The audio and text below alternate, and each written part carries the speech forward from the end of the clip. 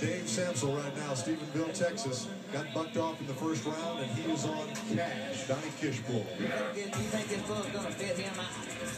Kind of don't. And you see what he's done. You know, he won $400,000 nearly, and he hadn't really been riding bulls all that long. Right. No, and, and you know, this bull is going to turn back the left, and the, the way he bucks, right-handers, you know, you know, have about a 10% chance of riding or less.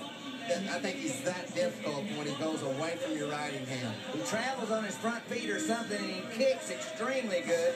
We saw Tater Porter win the deal last year on him. Around the corner, and that's about as good as a right-hander is going to do.